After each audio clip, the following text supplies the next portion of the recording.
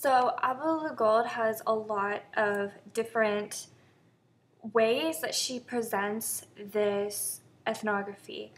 She decides to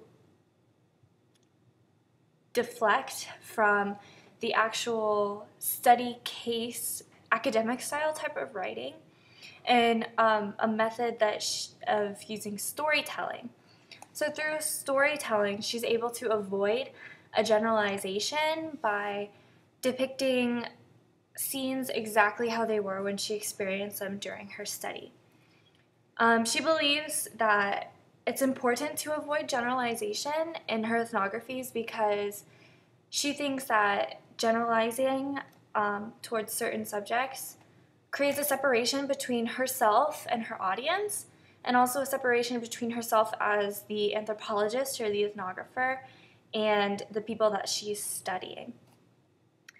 So, through her refusal to generalize on the Bedouin culture here in this piece, Writing Women's World, she is able to first avoid a typicality, um, avoid something that may seem like it happens in everyday culture, and um, she does this by discussing specific individuals. In doing this, she allows the reader to know that things are constantly experienced per the individual. So it doesn't mean that everyone in the culture can experience it. It can have different ways of being experienced in the culture itself. So, for example, um, in chapter one, called Patri- Patrilineality, she explains how Migdim, Haj Sagar's wife, gives birth alone by herself. And she's actually very intrigued to this because she doesn't understand why his mother doesn't call out for help as she's giving birth to one of her children. She just kind of goes behind a tent in um, the camp that they were at and decides to just give birth naturally by herself without the help of the other women of the community. Um, and she realizes that this kind of experience differs from person to person within the community.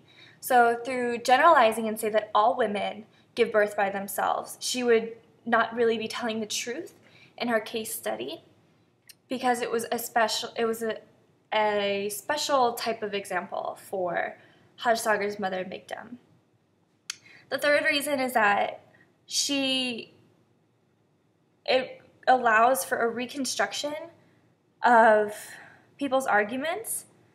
So, in focusing on the individual instead of on the culture itself, and in avoiding a big generalization of the culture itself, she is able to reconstruct the people's argument, which allows for a better understanding from her audience, which means that she can really tap into the audience and make sure that each one realizes, each member of her audience realizes that the women in this culture can experience things differently and can view things as different than what we typically see as an outsider in the culture.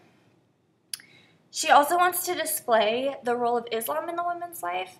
She wants to display that Islam is not what Westerners deceive as um, or what Westerners perceive as being oppressive towards women, um, and that women are submissive because of their religion and because of their ties to Islam. Um, she states that many girls consider, many girls and women consider themselves Islam, and that this adds to their cultural identity and to their character and who they view themselves not only as a woman in the culture, but as a, as a human being.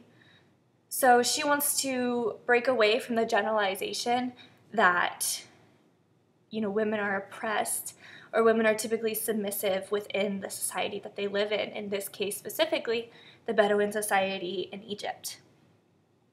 Um, the final goal of her approach to this piece, Writing Women's Worlds, is that she wants to take a humanistic approach. She believes that political motivations, as of recent, um, towards the Middle East kind of display Middle Eastern cultures in a negative light. And she wants to break away from that stereotype and, again, generalization. Um, so she believes that the political motivation inspired her ethnography. She stri- she strives to depict um, Muslim women in a way that they're meant to be portrayed, not necessarily like the oppressed ideas that we view Islamic women and Muslim women in the West. Um, also, another method that she takes in her humanistic approach to this piece is that she takes herself out of the stories. She tries not to interfere with the characters or her subjects, except when she feels it's necessary. For example, when she wants to um, display that she wants to interject and ask a follow up question, or when she's being asked something directly by, say, a male member of the community.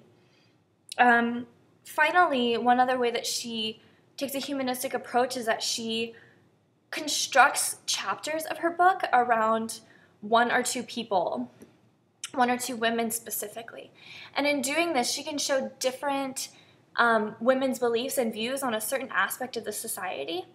So this creates um, more of a balanced way to present the society. She avoids a central character in her study, which again allows for um, an abandonment, uh, or which kind of abandons the generalization process that most anthropologies tend to go for. So, um, yeah, so the whole purpose of her piece here is to explain the role of women in the society and show that it's actually kind of a feminist approach, even though she kind of wants to stay away from the typical word feminism that we know in the West.